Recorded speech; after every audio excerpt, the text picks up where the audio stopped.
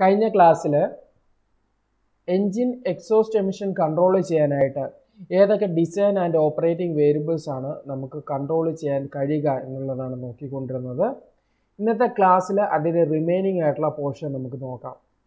ഇതിൽ ആദ്യത്തേതാണ് combustion chamber deposit combustion knock suppress ചെയ്യാൻ വേണ്ടിയിട്ട് യൂസ് ചെയ്യുന്ന ഫ്യൂവൽ അഡിറ്റീവായ ചെയ് ഇ എൽ അതായത് ടെട്രാ ഇതിൽ ആണ് മെയിൻ ആയിട്ടുള്ള കമ്പഷൻ ചേംബർ ഡെപ്പോസിറ്റ്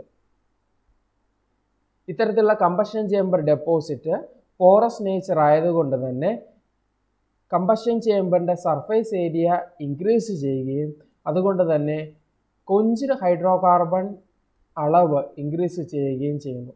കഴിഞ്ഞ ക്ലാസ്സിൽ നമ്മൾ പഠിച്ചതാണ് എങ്ങനെയാണ് ഇത്തരത്തിലുള്ള കമ്പഷൻ ചേംബർ ഡെപ്പോസിറ്റുകൾ ഇത്തരത്തിലുള്ള ഹൈഡ്രോകാർബൺ എമിഷന് കാരണമാകുന്നതെന്ന് ഹയർ പ്രഷറും ഹയർ ടെമ്പറേച്ചറും ഉള്ള സമയത്തിന് ബേൺഡ് പ്ലസ് അൺബേൺഡ് ഗ്യാസസ് ഇത്തരത്തിലുള്ള ഡെപ്പോസിറ്റുകളിലേക്ക് പ്രവേശിക്കുകയും അല്ലെങ്കിൽ ഇത് അബ്സോർബ് ചെയ്തെടുക്കുകയും പ്രഷറും ടെമ്പറേച്ചറും ഡിക്രീസ് ആയിരിക്കുന്ന സമയത്ത് ഈ ഒരു ബേൺഡ് പ്ലസ് അൺബേൺഡ് ഗ്യാസസിനെ ഇത് എക്സോസ്റ്റ് വഴി പുറത്ത് വിടുകയും ചെയ്യുന്നു. അങ്ങനെ അറ്റ്മോസ്ഫിയറിലുള്ള ഹൈഡ്രോ കാർബൺ എമിഷന്റെ അളവ് ഇൻക്രീസ് ചെയ്യുകയും ചെയ്യുന്നു. കാർബൺ മോണോക്സൈഡിന്റെ കേസ് എടുക്കുകയാണെങ്കിൽ ഇത്തരത്തിലുള്ള കമ്പഷൻ ചേമ്പർ ഡെപ്പോസിറ്റ് ഒരു തരത്തിലുള്ള പങ്കും വഹിക്കുന്നില്ല.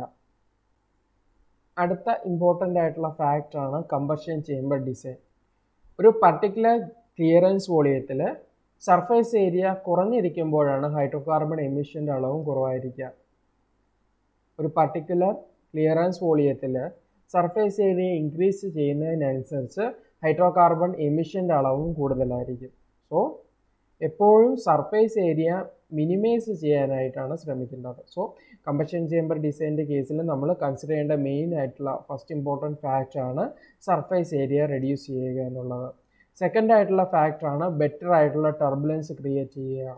ബെറ്റർ ആയിട്ടുള്ള ടർബുലൻസ് ഉണ്ടായിരിക്കുന്ന സമയത്തിന് എയർ ഫ്യൂൽ മിക്സിങ് കൂടുതലായിരിക്കും. അതുകൊണ്ട് തന്നെ ഈ ഒരു കമ്പഷൻ പ്രോസസ്സ് ബെറ്റർ ആയിട്ട് നടക്കും. അതുകൊണ്ട് ഹൈഡ്രോ കാർബൺ എമിഷന്റെതും അതുപോലെ തന്നെ കാർബൺ മോണോക്സൈഡ് എമിഷന്റെ അളവ് വളരെയധികം കുറവായിരിക്കും. അടുത്ത ഇമ്പോർട്ടന്റ് ആയിട്ടുള്ള ഫാക്ടറാണ് സർഫേസ് ടു വോളിയം റേഷ്യോ നേരത്തെ പറഞ്ഞായിരുന്നു സർഫേസ് ഏരിയ റെഡ്യൂസ് ആയിരിക്കുന്ന സമയത്തിനായിരിക്കും ഏറ്റവും കുറവായിട്ടുള്ള എമിഷൻസ് ഉണ്ടായിരിക്കുക. കാരണം നമുക്കറിയാം കമ്പഷൻ ചേംബറിന്റെ വാളിനകത്തുള്ള കൊഞ്ചിങ് ആണ് ഹൈഡ്രോ കാർബൺ എമിഷൻ മെയിനായിട്ടുള്ള റീസൺ സോ ഈ ഒരു കൊഞ്ചിങ് റെഡ്യൂസ് ചെയ്യാനായിട്ട് സർഫേസ് ഏരിയ ഡിക്രീസ് ചെയ്യുക എന്നുള്ളതാണ് ഒരു വഴി. So surface to volume ratio reduce ചെയ്യുന്നതിനനുസരിച്ച് hydrocarbon concentration hydrocarbon emission കോൺസെൻട്രേഷന്റെ അളവ് ഡിക്രീസ് ആയിരിക്കും. എന്നുകൂടെ പറയാം surface to volume ratio reduce ആവുന്നതിനനുസരിച്ച് hydrocarbon emission കോൺസെൻട്രേഷന്റെ അളവും റെഡ്യൂസ് ആകും. അടുത്ത ഇമ്പോർട്ടന്റ് ആയിട്ടുള്ള ഫാക്ടറാണ് stroke to bore ratio smaller ബോറും longer സ്ട്രോക്കും ആണെങ്കിൽ സർഫേസ് ടു വോളിയം റേഷ്യോ കുറവായിരിക്കും. സർഫേസ് ടു വോളിയം റേഷ്യോ കുറവാണെങ്കിൽ ഹൈഡ്രോ കാർബൺ എമിഷന്റെ അളവും കുറവായിരിക്കും.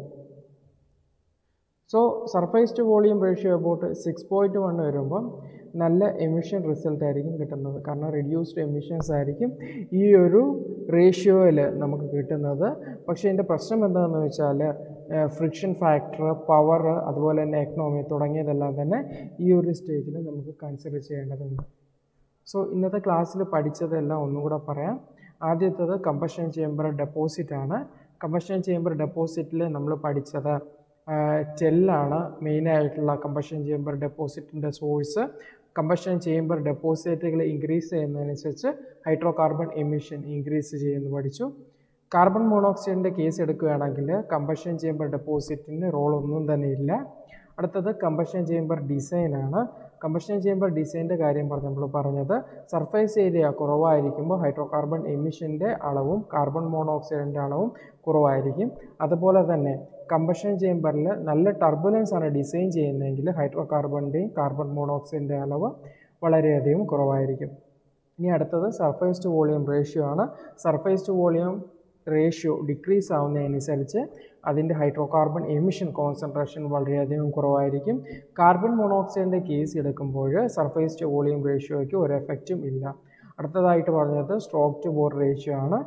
സ്മോളർ ബോറും ലോങ്ങർ സ്ട്രോക്കും ലോവർ ആയിട്ടുള്ള സർഫേസ് ടു വോളിയം റേഷ്യോ കാരണമാകുന്നു. അതുകൊണ്ട് തന്നെ സ്മോളർ ബോറും ലോങ്ങർ സ്ട്രോക്കുമാണ് ഗുഡ് എമിഷൻ റിസൾട്ട് നമുക്ക് തരുന്നത്. കാരണം എമിഷൻ റെഡ്യൂസ് ചെയ്യുന്നതിന് വേണ്ടിയിട്ട് സ്മോളർ ആയിട്ടുള്ള സർഫേസ് ടു വോളിയം റേഷ്യോ നമുക്ക് ആവശ്യമുണ്ട്. പക്ഷേ ഇതിന്റെ പ്രശ്നം എന്താണെന്ന് വെച്ച് കഴിഞ്ഞാൽ ഫ്രിക്ഷൻ ഫാക്ടർ പവർ എക്കണോമി തുടങ്ങിയതെല്ലാം തന്നെ നമുക്കിവിടെ കൺസിഡർ ചെയ്തതുകൊണ്ട് ബാക്കിയുള്ളത് നമുക്ക് അടുത്ത ക്ലാസ്സിൽ പഠിക്കാം. താങ്ക്